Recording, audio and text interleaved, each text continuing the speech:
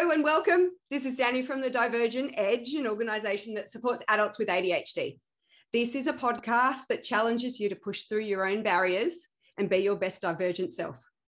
A podcast that celebrates living outside the box, finding your edge, and challenging the paradigms that exclude. The Divergent Edge rejects disordered and disabling labels of difference and aims to do all of this while retaining our sense of humour. I'm very, very excited to introduce Mr. Richie Cranny as my first guest on our podcast. Welcome and thank you for joining me, Richie. Um, it's a pleasure, Dani. Um, to, to be your number one podcast, your first guest is um, is I'm, I'm very I'm very happy to be here. Very happy to have you. Very exciting. Um, and Richie, I'm going to hand over to you to do your own bio because you'll do it much more justice than me. Yeah. So okay. if you wouldn't mind. Um, I originally from London, um, moved to Australia um, in 2003. Um, got involved in martial arts when I was 19 after boxing at school. Um, black belt opened, had a, my first school in UK in 95, come to Australia in 2003. Um, was teaching here, opened my first gym in Sydney in 2009, which was Platinum Extreme, um, which was um, a gym that I, I started to try and get more people into the sport of MMA, breaking down misconceptions. Not a dirty old gym, it was a really premium gym. Um, it was a beautiful gym. Um, and then from there, I created Wimp to Warrior. Um, and the reason I created Wimp to Warrior was to, again, everything I've done in Australia has, has been about breaking down mis- misconceptions and trying to build MMA as a sport. Um, and I started Wimp to Warrior to prove that anyone could basically do MMA. I put a post out on Facebook um, and I said that I trained someone for six months. They couldn't have any experience in martial arts whatsoever. And I was trying to find someone that would be, um, if you looked at them, you'd think, wow, I'd never think that person would do MMA, you know, an accountant or or someone. Yeah. Um, and I was only looking for a guy back then, to be honest. Apologies but to no, any accountants listening. Yeah, sorry about that. But this first thing, you, you can imagine a guy that sits and yeah. got big glasses and combed over hair and has never done anything physical in his life.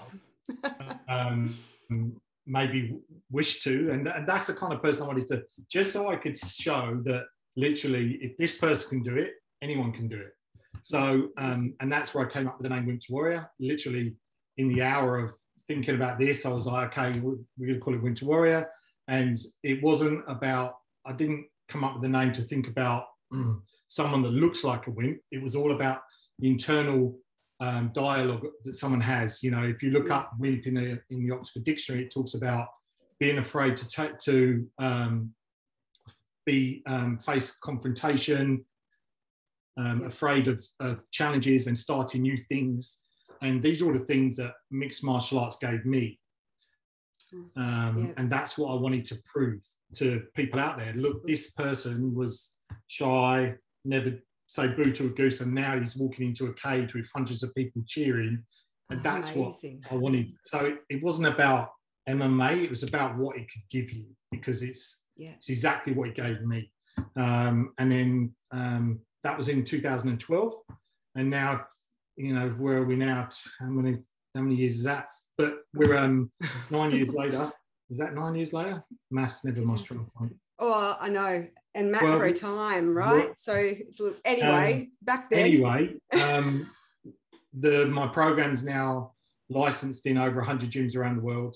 Um, the biggest names in MMA, from past to now present, are all involved with it. Um, even Ant Middleton from SAS Australia. Um, if anyone has watched that, and um, he's huge in the UK, but he's now come on as an ambassador because he sees he's all about mental health, and you know all the stuff he does on TV. People see this guy shouting at people's faces and pushing them, but all he's trying to do is to build their mental strength, and um, and that's he. We got to, to chatting, and he loved what we do, and so he's coming on board now. So it's become very successful. Um, so just, yeah, that was Wimp to Warrior, and now um, so I've long-standing martial arts. I've got a fourth degree black belt in Pro MMA. um, I got involved with IMMAF um, a few years back, and they're the world governing body of mixed martial arts. Um, they run all the amateur side, the sport side, and um, I was asked to come on as vice president of Australia um, about three years ago. Um, and within a few months, I was kind of frustrated that nothing was really happening with it. So I kind of forced myself on to being voted in as president because I wanted, I didn't want anyone. Just thought you might need yeah. to be the president and be in charge of all the things. I, I remember us talking about it. I just. I remember. And, uh, I just. I remember. Yeah. I, I, I just hate being having any restraints on. If I have an idea, I want to do it. If, if I want to implement something, I want to be able to do it. I don't want to have someone else's opinion. Yes. Because um, you know, I, yes. up to date, I, my my hit rate's pretty good. So um, came on as president of IMMAF in, in Australia um, two years ago, and um, I've basically tripled the membership. Um, well, more than that, we've um, we won the MMA awards for most progressive federation in the world. Um, in my second year, we went from 15th ranked in the world to fifth in the world now. Um, and now I'm focusing on doing some stuff towards the Olympics, which I'm sure we'll ta- touch about. We'll, but, um, we'll touch yeah, so touch in on. That's my crazy, Ooh, crazy, um, crazy, crazy rise life. to being a successful yeah. entrepreneur. And I love yeah. how you talk about like basically not being able to function in a way when you're constrained or when really someone's telling you no. what to do. And I yeah. think so much, many of us can relate to that feeling like you're listening and watching somebody doing something who isn't seeing the whole picture and isn't yeah. isn't isn't really able to leverage um, the capacity of a project as much as they could. And so sitting on the sidelines and being frustrated and then impulsively saying a variety of things that gets people offside um, i know yeah. i've had many conversations so i think it's not an accident that many uh, adhders do end up working for themselves uh, absolutely and the yeah, latest 100%. stats you know 300% more likely to end up being an entrepreneur. So yeah. your story tells us just a little bit about what was going on for you and what kicks. Yeah, and and also um, martial arts as well. I mean, there's I, I, worked in the building trade on and off to supplement my my teaching um, at different stages of my life, and um, back then I, I, was I was I wasn't um, diagnosed until a few years ago, you know. So I didn't really recognise it. But now looking back, it's so obvious that there's so many tradesmen that are you know ADHD or ADD or on the spectrum and and it's the same in the martial arts world you know I've started talking about this on social media only recently and um, I've been a lot of people have reached out to me that are coaches um, and they all have been diagnosed recently and not sure whether they want to talk about it you're not sure if um, they, they don't have the confidence to to put it out there as yet because they probably mm. still see it as a negative rather than a positive. Yeah. And yes. I think that's you know something that took me a while to get my head around.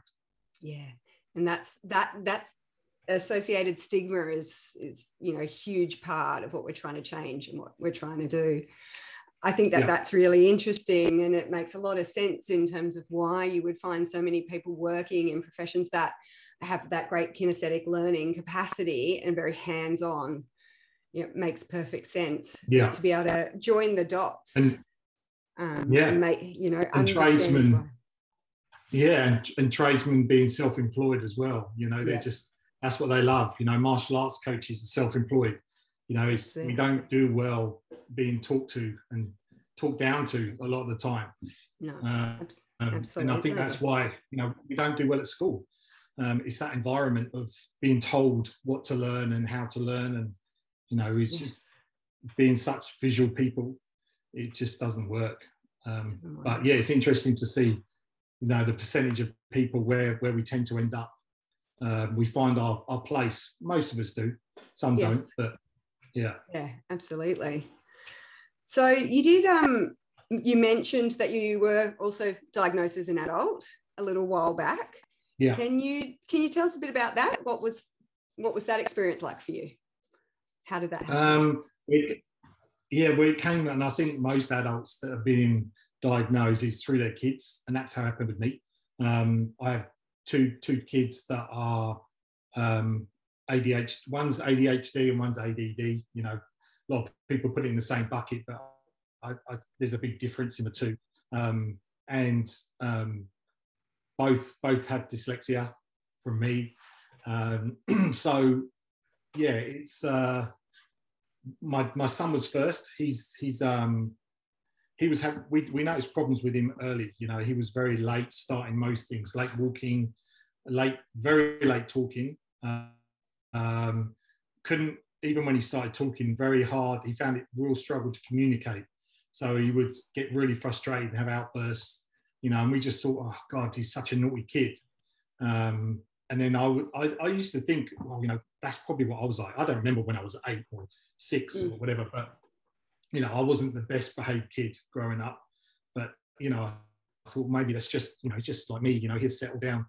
Um, mm. But then my wife really um, wanted to get him looked at, so we went to a child psychologist, um, and it took them a long while to to recognise where he was at. They they talked about him being on the spectrum very early, and we were like, no, no, no. Um, and then um, then it was, oh, he suffered from anxiety. He's um, so they were treating him for anxiety and, and um, some learning difficulties, and then he got diagnosed with dyslexia.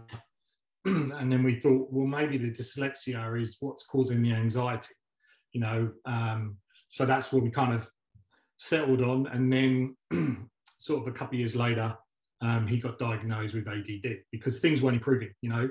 So we kind of went down the rabbit hole again and got him looked at. So he got assessed, and then um, through that process of sitting in meetings, you know, the specialist we went through so many was talking about you know the traits and you know the, the markers and the flags of, of certain things ADD and, and dyslexia and I was like geez this is me this is this is this is how I was as a kid. This is how I am now. A lot of the things. so yeah. I asked to be tested, and I was sent to see a psychologist and went through all the testing um, phases. And yeah, I was very high on the spectrum of ADD, and I already knew I was I was diagnosed with dyslexia in, as an adult, but a long time ago. Um, yeah. So yeah. yeah, that that's how it, it came about, and yeah. um, and then you go through this for me, I went through a lot of um, guilt, thinking that um, because my childhood wasn't easy, you know, I, um, the guilt of basically me putting my kids through that same journey that that I went through, yeah. you know, struggling at school and stuff. So, yeah, that I went through a lot of guilt with it, um, and um, we talked about it a lot um, you know, yeah. amount of times I've mentioned Harry to you, um, but with myself and Harry have got a very we're, we're kindred spirits. You know, we we communicate really well. We don't have to talk. We can we just know how each other's feeling, and um, yeah, yeah. It balances out because that connection that you can have with your kids with a shared understanding yeah.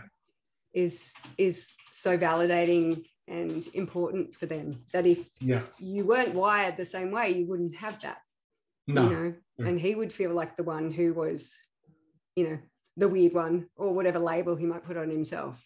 But yeah. because he's in alignment with you then that's not there yeah. Yeah. Yeah.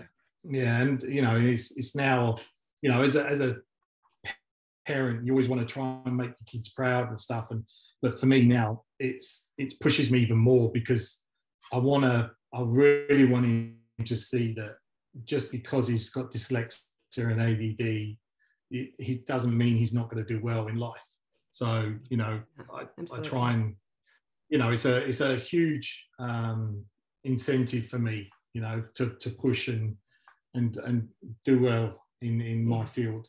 So he yeah. can one day he doesn't really understand it at the moment, but one day he'll be able to look back when he's at school and struggling, you know, and I've had the conversation with him loads of times, but you know, my dad did it, so I can do it, and that's kind of that's yeah. what I'm trying to give him. Well, that's it. It's that modeling and mentorship that, as a parent, yeah. you also kind of lead by doing. not necessarily by yeah. you know we do all the talk we do all the talk and try to, to get it in and ultimately it's a, at a certain age kids start actually noticing what you've been doing and how you've been talking about it and it gets in that's beautiful i love yeah. that i love that i am um, i th- i think that you know you you do say your story is is common in some ways that you know parents get picked up um, either self or a you know somebody else pointing it out that it might yeah. be you. Um, and I, I think it's interesting also just to mention about the the, the language around diagnosis um, with ADHD is obviously a lot of people know it as two types of ADD and ADHD and at some point yeah at some point it was determined that the entire spectrum would be called ADHD and then we would have inattentive combination or hyperactive as our yeah. subtypes. And I think a lot of people still don't really relate to that. I mean, mm. I purposefully don't put the full uh, definition of ADHD anywhere on my website or or in my resourcing because I don't agree with the words that are used in the label. I don't find them no. helpful. I don't find that they describe my experience of the word uh, yeah. of the world. And I, I, think it's very similar when, when you mention it's like, well, the, the, bit that's got the hyperactive bit in it, that doesn't make any sense mm. for, you know, through, yeah. through your lens. And I'd like to see in the future us actually being able to revamp and and redefine you know and and being led by you know, consumers and and people with lived experience of adhd to actually participate in that and maybe not mm. know, hmm. board of the I, DSM I think there needs to be a yeah, yeah a, a, a, different description or, or i mean we don't description is a wrong word because none of us like being put into pigeonholes you know mm. but um you know when people hear adhd they just think of this kid that's out of control he's had too much sugar and he's screaming and.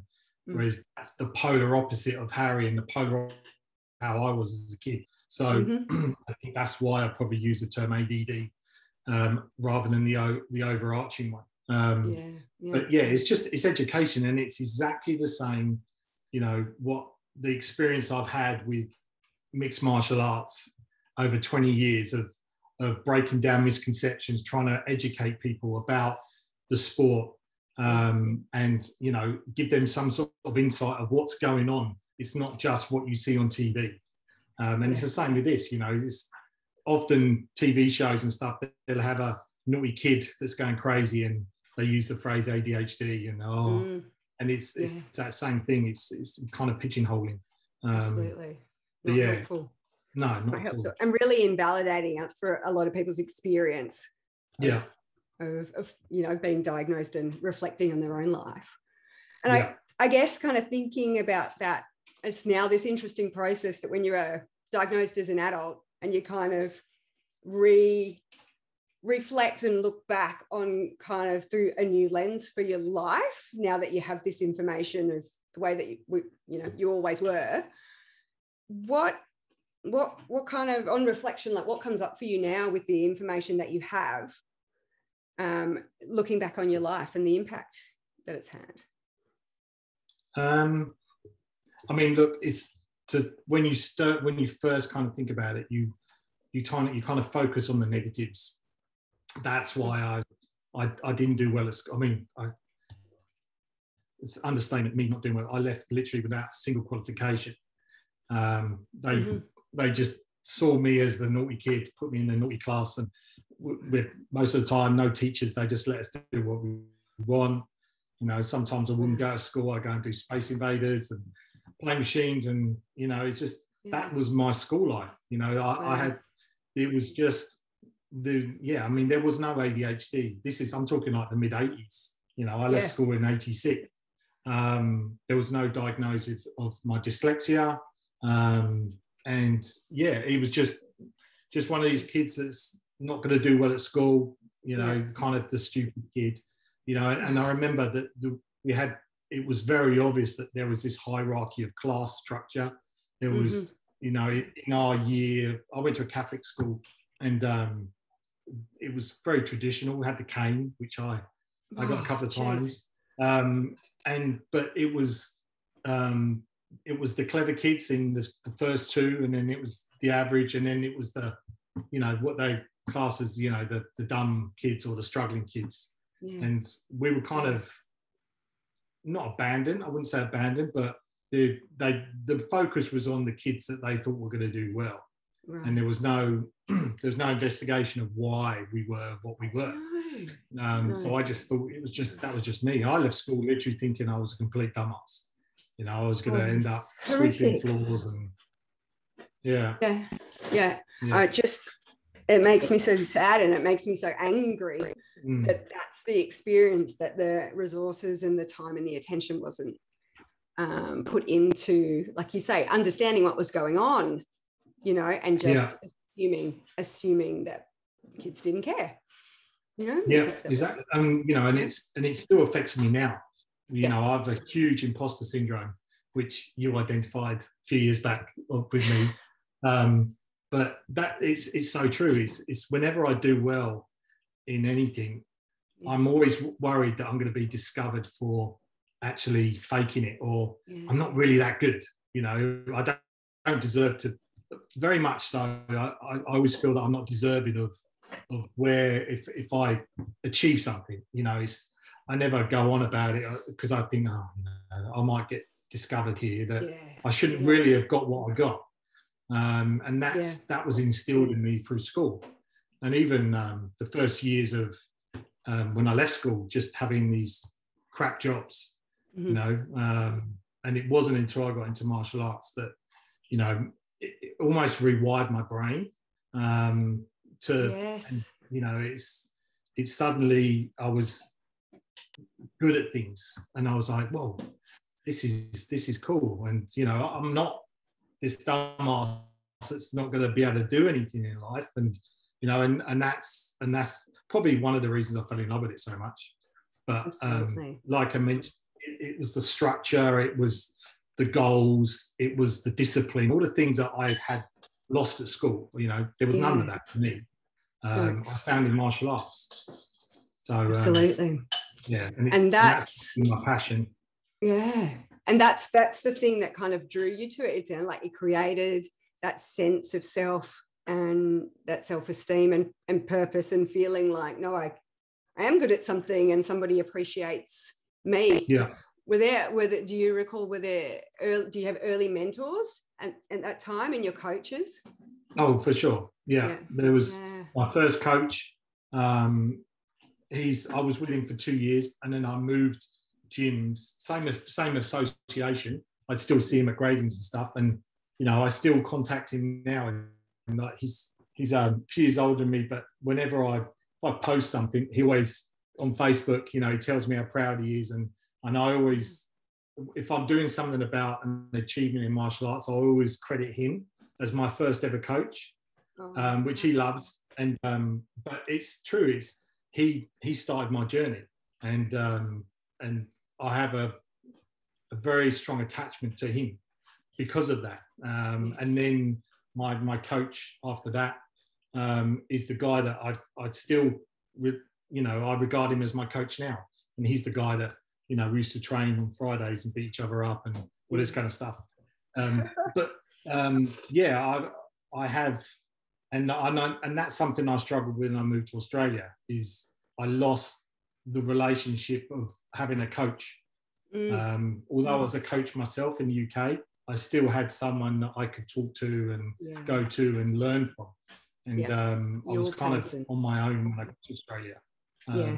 But yeah. Isolating yeah. I, th- I think that that val you know that value of having someone who sees you um it's not something yeah. it's a it becomes such a formative relationship that's you know always going to be imprinted on who you are but i think about well like when i listen to you when i listen to you talk about that relationship and i can hear how that started to change the story you told yourself about who you were and what you were capable of yeah if you think about how you were talking about when you were at school and the story you told yourself about your potential mm. or your intelligence, the way that you outlined that, yeah. how would you describe the difference between being a kid at school to starting to get involved in martial arts and, and realizing that there was potential. And then did that story change a, a little or um, a lot, or at that point? It, it was kind of it, it's almost like a divide because um, it wasn't until a few years ago that I kind of I, I, I basically put myself in this in this kind of box as a martial artist, and that's what I knew, and I was good at it, and um, my passion for it um, made me a good coach when I started teaching it, and so that was my life, and and I didn't really step outside of that because mm. that fear of I'm good at this, but I know everything else I'm bad at because I, that's the experience I had at school. You know, I, I didn't yes. read my first book until I was in my late twenties. You know, it's it's I just because I'd struggled reading so much, and and then the the short term memory of you put the book down and oh geez, what, where was it? And you'd have to. So it's all these things. So I just avoided it. Um, mm, mm-hmm. and, and, it wasn't until martial arts was taken away from me when I injured my back, it kind of forced me to do other things, which you know, which is the stuff that's not physically teaching, but building, you know, the federation stuff and wimp to warrior stuff. It's um, that that was um, kind of a catalyst for all the other things that I've done. I think if I hadn't injured my back, I'd probably still be in my gym teaching, and that would be it. So wow. you know, I'm a massive believer in things happen for a reason. Um, it's, and I think, yeah, it's huge, isn't it? That um, it became your safe space. You know, the way that you talk yeah, about it, it's exactly. like you created a bubble and a world view that you could exist in, that you felt okay, that you felt purposeful. And then yeah. to think about how crisis and near tragedy, I guess, in terms of the severity of your injury at that point, can be a pivotal turning point in your life to yeah. open up new doors. Yeah. Um, I mean. It, it, took a long time. I mean, I was in a mm. Very dark place for a, for a couple of years, really. Um, I was at work for two years when I when I damaged my back, and um, I was told, you know, you're never gonna train again. Martial arts is gone for you now. You've got to think about a new life, and and I couldn't even sit for more than ten minutes at a time. So I was like, well, all I could think about was I can't do anything physical can't go back to the building trade because I couldn't lift anything. Um, and then I was, you know, I can't do martial arts. I can't sit in an office. What am I supposed to do? And and you know, the the thought of having to retrain and go back to college um, in that environment where I failed as a kid was was um, was a real was a real dark, like I say, a dark time in my life. And you know, I really looking back now, I was I was really depressed. My wife pointed out one day, she said, you know, you you're suffering from depression. I was like, no, I'm not. I'm just, you know, but I, I I'd wake up every day and I'd feel this presence of a dark cloud over me. You know, I, I stopped smiling, I stopped laughing. Uh, um, yeah, it, even now, I, I, get choked up thinking about that time. You know, and I, I honestly thought that we were planning to have kids, and I thought, you know, this I'm not going to be able to have kids. I won't be able to play with my kids. You know, because um, I couldn't even walk down the road without being in pain. So yeah, that was a real struggle, but um, yeah. it forced me to come outside my bubble, you know, and that and you know I, I seek counselling, and that's how we met, you know, and you, the things that you helped me with, you know, were amazing. You know, you introduced me to the imposter syndrome, and had to get my head around that, and being outside my bubble, and and um, martial arts might not be the only thing that I can do in life. Um, so yeah, I mean, I'll always be forever grateful to you, Dani, for helping me transition from that period. Oh, I think it was um, an incredible privilege to meet you at that time and to be able to see the the shifts and changes about as you started to get your head around what yeah. what else there could be what else there could be and where this could go for you. Yeah. Um, I mean, if you think about, you know, the difference between now and then, and is there anything that could have happened earlier in your life? Is there anything that somebody could have said or done for you that would have, you know, if you had your time, that would have made a difference on the adult Richie who had to go through that? Was there um, something that would have made a difference for you? I, I think it was so ingrained by the time, you know, my adult life, the experience I had as a kid, you know, it's not something that a word or, you know, mm. an explanation could have helped because mm. it took me a long time to, to work my way through it. It's a process. And I think, you know, being having that experience of years being at school and and having no self-esteem and just mm-hmm. being really down on yourself that's not something that can happen overnight i think the important thing is to capture it at school. These kids they need education. They need to understand that it's not um, a disability. It's it's it can be something really special and but they just need to be guided you know? And, and it's and it's really forced me to um, look into my own coaching you know? And although i don't coach as much as anymore but i teach coaches. I run coaching classes and courses for coaches. Um, and i put a lot of emphasis on you know um, pinpointing in a in a class scenario where kids sit you know and and recognizing if they're audible learners visual kinesthetic and then tailoring and, and making sure that you're as a coach aware of these things.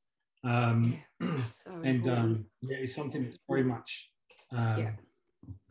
One of my main teachings and, and things I emphasize in, in when I'm running courses now and and it's definitely made me a better coach for sure and you know it's and it's got me to a place where I'm you know with the youth program that I'm working on now um, because I want I don't want kids to feel the way I felt growing up. And yeah. I think martial arts, although it, I got martial arts at age 19, I think if I'd started at the age of 10 or 11, my world would be so different. Um, That's it, isn't it? Those because I would have, times. I would have been, yeah, I, I would have, I would have had that recognition of of self worth and things that I was good at. You know, I'd be able to go to school and, and know that this isn't for me, but after school is where I'm going to excel because I'm doing something that I love and I'm really good at. And I never had that. and um, martial arts teaches you so much um, about yourself. And the biggest for me, and, and it's and it's I talk about it a lot with people that um, are looking at martial arts as an option. Um, and it's and it sounds strange, but the best thing martial arts gives you it, it teaches you how to lose um, which sounds really weird because people. But it's that resilience, people, isn't it? Yeah, most yeah, people shy away from the thought of loss or failure mm. or being told no. But martial arts, but it, it, the, the whole process, the way martial arts is designed, is you lose until you win, and then you lose until you win. And so, like, for, if you look at a belt system in martial arts, you start as a white belt and you're the bottom bottom of the ocean. You're the everyone in the in that class could whoop your height, you know, and you mm-hmm. train for two years, you get to the best, you're the best white belt in the class suddenly, you know, and you, you're a, everyone's looking at you and then you get graded and now you're in with the blue belts. Yeah. And now you're getting your ass kicked all over again. Um, and you're looking at the white belts thinking, God, it, life was so much easier when I was a white belt. And now I'm a blue belt and I've got this for the next two years. But you, you, you kind of discover that it's the only way of that you can get better is to is to mm. fail. If, if you win all the time, you're never going to learn. And so martial arts really instills that into people, and and that I think is what kids miss nowadays. You know, everyone's a winner now. You go to the kids' carnival, sports carnival, everyone gets a ribbon. There's no losers, and I just think that's so toxic. I think yeah. you, we're setting kids up for failure in life because the first time they they come across any you know, barriers or resistance, they're going to fall apart because they haven't been told no and they haven't lost things before. And, mm. you know, and by the time they get to this, they're at these real important times of their life. And, you know, and this is why so many kids suffer from depression, anxiety, and suicide because it's all highlighted through social media now. You know, everyone has to be perfect, you know, and I, I really do think that it's not for everyone, but martial arts, if if there's kids out there that came through that martial arts system, um, and they experience the things that teenagers and um, youth have experienced now with social that it wouldn't bother them. It, I think the mm.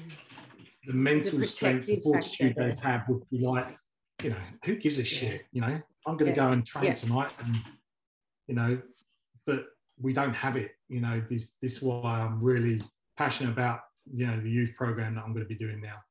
Absolutely, I couldn't agree more.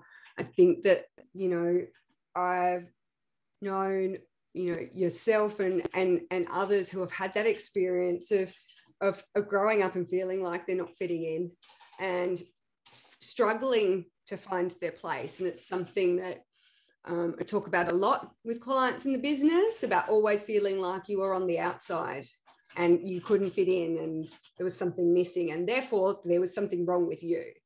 Yeah. And you know even and I know Richie, you and I have talked about my, I'm sure he won't mind me mentioning my own husband's experience of going through karate as from a young child through high school years to his early 20s and and to black belt status. He will sometimes say to me after being diagnosed as an adult with ADHD, going, if I hadn't have had that, I don't know where I would have ended up because mm. that structure, you know, when we talk about what strategies do we need to put into life, that external structure of the, you know, the format and the goal of it, you know, working towards a goal and how do I keep yeah. going? And I love the way you talk about that. It's like you get literally get knocked down and you learn how to get up again.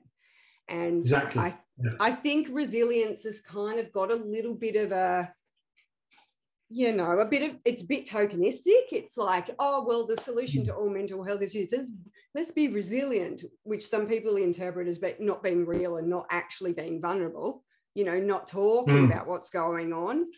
Um, but I view resilience. Yeah, it is. Mm. Resilience is being yeah. brave. It's having courage. It's talk and it's being yeah. vulnerable. Uh, and, yeah. and you know, sometimes things are really shit really shit when you've been yeah. knocked down or you've had another job that didn't work or another relationship that didn't work or whatever the thing is and and having something to pull on that yeah. gives you that drive you go know what you know no matter what happens i'm going to be okay is that yeah. you know that that kind of sense that we want you know we want for everyone but we desperately want for our kids so i'm 100%. very very yeah. excited um, about your youth program. And I guess just before we talk about that in a little bit more detail, I, I wanted to ask you now, knowing what you know about yourself and your diagnosis, how would you define the positive attributes of um, having ADHD or ADD, as you say, in your case? Yeah. What's, what's the positives that you've been able to say, hey, this has really been part of what's contributed to my success? How would you define well, that? Well, because it, you know, you when you look into it, it, you know, there's there's plenty out there to read that it's it defines it, although we don't want to be put into pigeonholes, but it, it tells you along with the things that you're bad with, it tells you the things that you're going to excel at. You know, you know, it talks about creativity and and um, you know, never letting go of a of of a something, no matter what. You just you have to do it. You know, you're singly focused and you know and some people think that um, multitask for instance is which uh, you know we, we struggle is a negative thing but for me one thing although i get very easily distracted um, i know that the, the, stuff i get from my add and and even dyslexia as well is that once i get once I identify something, nothing's going to stop me. I just go forward and and and knowing that that's in me and that's how I'm wired, it gives me confidence because yeah. without knowing that, you're like, well, I'll try. You know, this is what I'm trying to achieve. But now I know that that's how I'm wired. That's how I was put on earth, and that's how I've always been.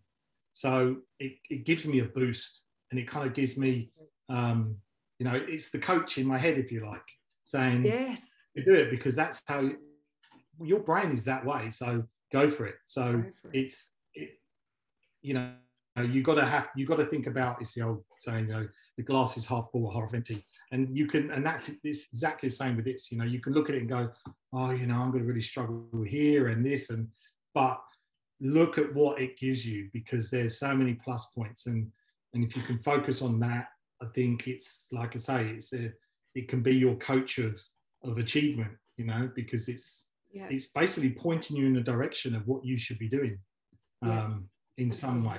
So yes. that, that's I think is how I look at it now. I love that. Thank you. Thank you. That was that was so articulately put and so so clear. I love that. The coach in your head going, no, no, you got this. This is the thing that you can do. Back yourself and move forward. Yeah. And, and that driven kind of focus once you've got it.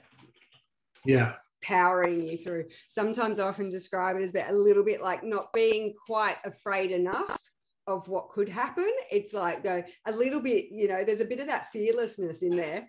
Um, mm. oh, I wouldn't dare kind of do it. And, oh, why not? It'll be all right, you know, because I've got the vision and you And what's the worst thing can happen? Yeah. You fall over, you get back up again, and it goes again. For me, back to the martial arts. It's okay, if it doesn't work, I'll just find something else that does, and you just keep moving forward. You know, people look at um, you know, on paper, uh, you know, I've done some some pretty good things with my career in MMA, but I've failed at so many other things. You know, I've had gyms that have failed. You know, I've had, you know, I've failed at, at my marriage a lot of the time. You know, my wife stuck with me and stuff, but there's things that you know took I had to really work at. You know, um, and there, there's, but all those things, all these failures, they lead to where you are and they make you who you are. You know, and um, you know, me and my wife have been together 30 years. You know, it's we're, we're stronger now than we ever have been because we've been through all this, you know, uncertainty and and and debt and you know, being an entrepreneur is it's tough. You know, it's five years ago I had my car repossessed. You know, and now I've just bought a new car cash.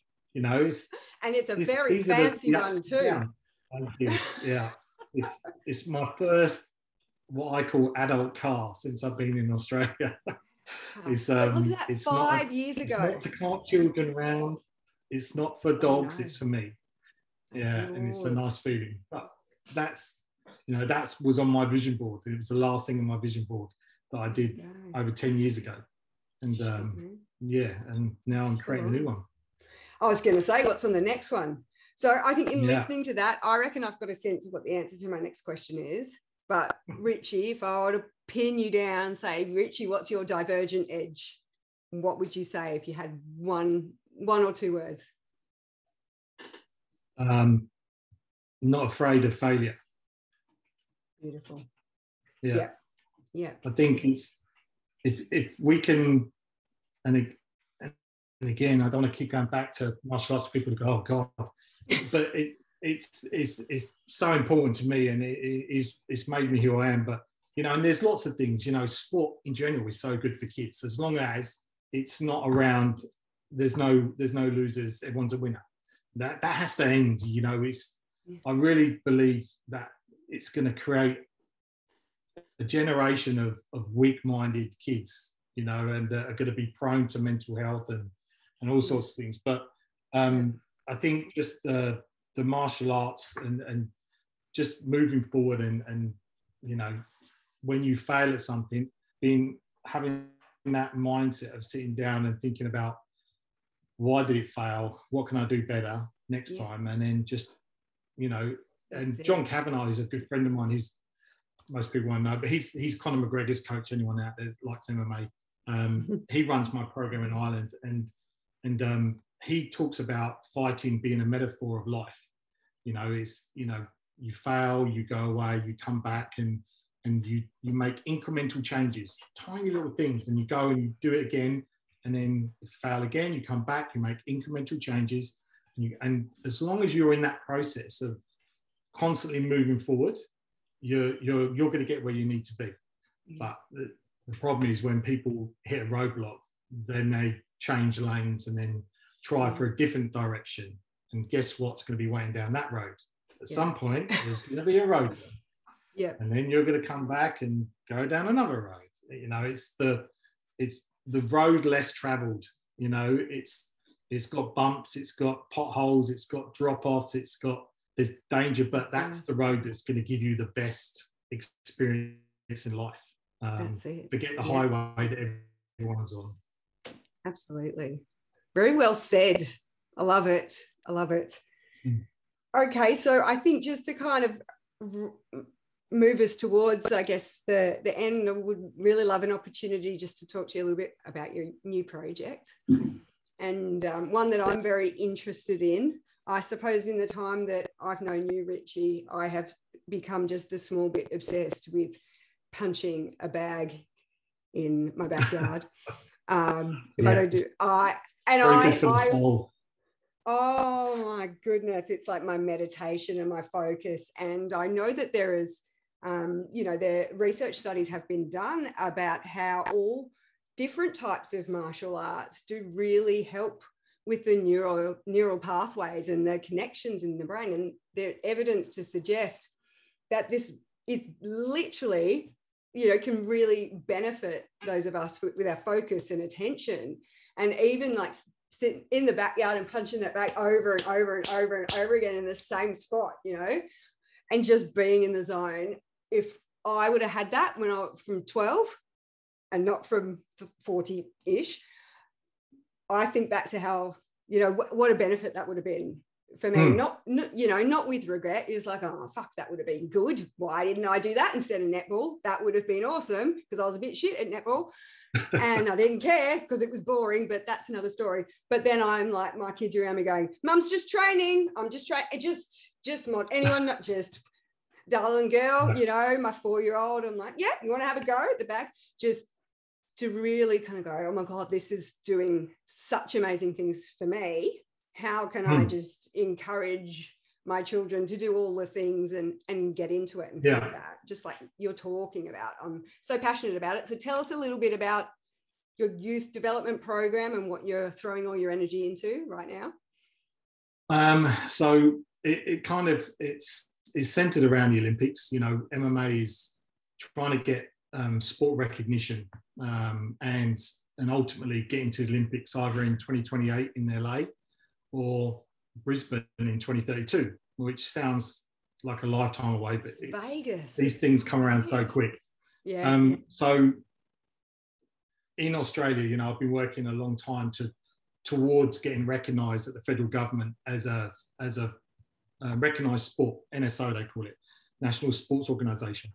Um, and there's a lot of things that you have to have in place to be recognized. And that kind of forced my hand, if you like, to, to, to make these things happen. You know, there's education, which we run all the courses for um, coaches and referees and judges, etc. And then we have the syllabus now. So in MMA, which a couple of years ago you couldn't do, we have a belt system, which is so important for kids, that focus moving forward. So that's now in place. and then um, investing in youth. And so that was a massive spark for me. I was like, oh, this, this, is now, it's forcing me where I want to go. This is such a good um, place that I want to be and, and, concentrate my time on. So, um, being that we won, we got the Olympics in 2032, um, I thought about because an Olympic cycle lasts 10 years. So, someone that's kids that um, sort of in early teens or um, they're, they're identified um, at their talents at early age and they, they go through a 10 year program towards into the Olympics. And it's, um, it's a very structured format um, and there's different elements. There's strength conditioning elements, and then you've got your sport specific elements, which in this case will be mixed martial arts.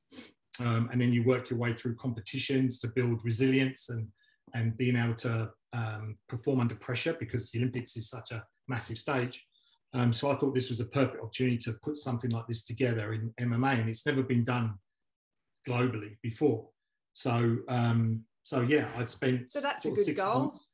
Yeah, but that's I, the thing. Is that a huge motivating factor? Like this hasn't been done before. Yeah. there. I, I, like treading new ground. Yeah. So um, I, I, found a, a, strength conditioning coach that's worked in the Olympics in two different sports, um, and got some advice off him, and he put together a program which takes kids from basically the age of eight or 10 all the way through to 18.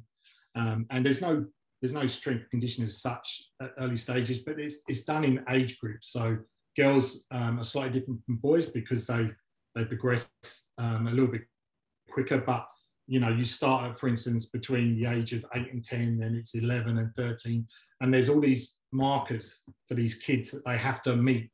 Um, and there's so the strength conditioning element in there. It starts off with just um, body movement, hand-eye coordination, all these really important things, playing with balls and making sure that they're and and there's set things that they have to achieve all the way through to the 18. So it's a real mm. educational path for mm. these. And then you add the martial arts in there. So you have the belt system, which we have now. So these kids will come through the belt system, they have strength conditioning. And then, you know, I, I thought about my own journey and and what would be the ultimate program that covers everything, you know. And so I had conversation with you and and the mental health is is a huge part of this now. So um, we're going to be working with charities um, eventually, but there'll be um, I'm working on an app. So basically, anyone that's on the program. So I, I put the program into gyms, and then I put governance. And so when someone goes to a, the problem with MMA is if someone goes, the, the parent put aside the whole stigma around MMA of the parent, the kid saying, I want to do MMA, and they look on Google and it's two guys in a cage covered in blood. If they get over that, which is what I'm working on constantly, and I take them to an MMA gym. If you go into a karate gym, a judo gym, a jiu-jitsu gym, you walk in and there's a there's a man or a woman there in a gi, which is a, a uniform and with their black belt. And immediately you have that sense of achievement for that person. You recognize them as, wow, they're a black, everyone knows that. So you, you have that sense of my child's actually with someone that knows what they're doing. In MMA, you walk into an, an MMA gym and we don't wear gi. So there's the, the MMA coach with MMA shorts and a rashy and probably sweaty. And so there's, it's these little things that you have to try and overcome. So the idea is that the program I put together will be advertised nationally and there'll be an index and coaches or gyms that want to do the program have to go through a vetting system. They have to be certified um, under the world governing body as a coach. So, and with that, it's a it's a, an amazing course, and I've been through two levels now, and it made me a better coach. And so we'll be able to certify the coaches. Um, there's the first aid aspect. There's working with children. There's a working with children course in there, which talks about um, um, kids with different learning abilities and recognizing them. And then there's the police check. So if a parent wants to put their kids through this course, if there's a gym that's licensed for this through IMMAF, they know that all these things have been checked for starters. Perfect. So mm. that's the governance that we've got in there. And then the kids then embark on this program. Um, and there's gyms that are signing up that have already got big kids programs already, but um, it's very hard to motivate kids in MMA when there's no short and long term goals. So allowing them to put their kids into our program with the belts and the structured strength conditioning and the fact that they're part of an Olympic based program that we're working, it excites kids. Um, and then we'll have training camps once or twice a year. Where we invite all the kids on the program um, into a central place where I'll invite some, you know, some celebrities down like fight people and stuff to really motivate them. And then on the app, everything will be on the app and it'll be a safe place. Only parents um, the kids and their coaches will be allowed on there, and there'll be forums in there. So parents will it'll be a place where kids can chat to other kids around in a safe environment rather than being on Snapchat and all this kind of stuff. So yeah. we're creating this uh, really positive environment for kids. Um, and in there, there will be a, a, a, number which they can press at any time if they want to talk to someone about anything, you know, struggling at school, being picked on. So rather than trying to find a number or ask a parent or look for mm. it's going to be on their phone straight away so it's just an easy reach out to as an extra layer of support yeah. Um, and then the final part is that as the kids progress through um, there'll be an online kind of exam if you like and age specific so it'd be easy for the early kids but it will teach them about the body human body body mechanics nutrition you know, and mental health as well. So as they progress and get to their new point and the new belt, they have to do the physical, but they also have to learn about all the aspects, uh, which I think are the, are the really important things that we need to give our kids. Well, it's not it. you know, oh. sitting in a classroom reading books and stuff. They're going to have life skills. So mm-hmm. the idea is, you know, when come 18, we'll have kids that have, have you know, got had real structure and positive environment and and that, that coaching relationship and been through competition and not afraid of failure. And I, I think, you know, when I compare that to kids going off and playing soccer, or, or I'm not highlighting, but anything that's this. They can do soccer as well. It's all right. Yeah, my kids play soccer. Yeah. But what I, I just no, I just love it. It's holistic though. I mean, I'm just yeah, getting so excited. Exactly. Yeah. You're looking at all the pieces of the puzzle and about yeah. like what do kids need at different stages and how yeah. do they get that information and support in a way that is maybe accessible and in a way that they're going to care about it. Because you know exactly yeah don't care. Oh, how do I sign all of my children up now? and I guess like coming. how do we how do we support you how can I um, help? So we've at a process. I'm going through a process in the moment of interviewing gyms and coaches because that has to be right. I can't rush. I was hoping to do launch this in October, but with COVID and stuff, it probably be January. Um, and the idea is I'll have 10 gyms to start in January that the, the, the, program will be running in different states. And then each couple of months, I'll add another 10 gyms. But the, the process of bringing and onboarding a gym is quite quite long and intensive because it's such an important we need to make sure that they're not fit you know? Yeah. um, and there's the process of being certified and police checks and all this kind of stuff. So um, yeah I, I, want parents to be able to look on our website which is imatha.org um, and at if there's a, on the director of our youth development program they know that any of those gyms, the coach that's going to be looking after their kids is certified, is police checked, understands how to train kids with different learning abilities, um, and and they're going to be in not just something that's in that particular gym, but a national program. Um, that that's you know, it. there could be. I really do think. I mean, this is my end goal. This is my new vision board. So the last part of my vision board, which I will retire happy, is yes. I'm at the Olympics in Brisbane and there's kids on that team that came through my youth development program. Um, and whether they win gold or not, but they're they're there representing, and I know, and I've known those kids since they were eight years old, and and they're confident, you know, adults now that are doing what they love, and that that's my my final piece of the puzzle, my retirement. Oh. I'm a happy man that is you know and that in in knowing you richie and knowing how you were always so committed to that kind of full cycle and and contributing to community and contributing to you know young people. And just to think about that i get chills and excited for you. Yeah thank you. And i don't doubt for a second that that's not going to happen. Look at your track record and like you say you're going to move forward in the direction of your goal and look can can we put them i'd love to put a link to sure. you know to on the website. Um yeah. you know in in in the near future um, the divergent edge is expanding our parent and carer support services um, with some new staff that are coming on board. So I think I'd really love to have that as a resource on the website so we can, you know, support our parents and carers to kind of check it out and understand what it is that you're doing and have a chat with their kids yeah, and see whether it's a good fit. So that would be amazing. Yeah, I'd love that. Thank you. Right. Yeah, it's it's gonna be um it's gonna be very cool. It's it's uh I can see it, I can see it, I can vision it, it's it's gonna happen. Um I you know the the idea is that um once I get to this point, I get NSO status, then you can apply for government funding. And then um, I'm setting up a, a, scholarship fund.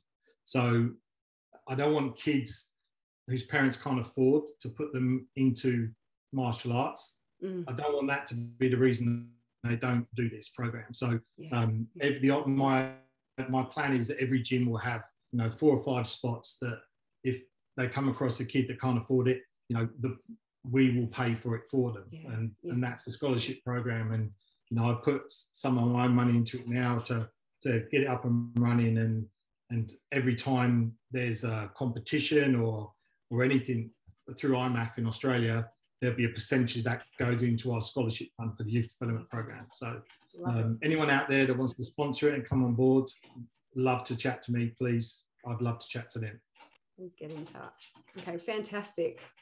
Well, that feels like the natural, I'm sad to conclude our chat today, but um, I've really enjoyed it. Thank you for making my first experience podcasting um, such a pleasure. Thank you for your time. Can I just say one quick thing to finish off, Dani? Yes, yes. Um, I, I just want to, from me, thank you for being part of my journey. Um, over, I kind of, is it five years I've been seeing, maybe more? And, um, think, yeah, you know, we've known each other for five years, I think, yeah. Yeah, I mean, I was pretty broken when I came to you, and um, and you've really helped me focus and and recognize what's important in life. And I'm going to get choked. Oh no, you're making me. Uh, and um, my wife says it all the time, you know, Dani's the best thing that ever happened to you. So I appreciate it. And if anyone's watching this that um, is considering, you know, your services, it's been life changing for me. So oh, look at this big sook. Look what you've done to Dani. yeah, well, I'm, I'm going to leave it there. Thank you. That means a great deal. Okay. Thank you so much, Richie. Okay. Take care. See you soon. My pleasure. Thank you. Thanks, Bye. Dani. Signing off.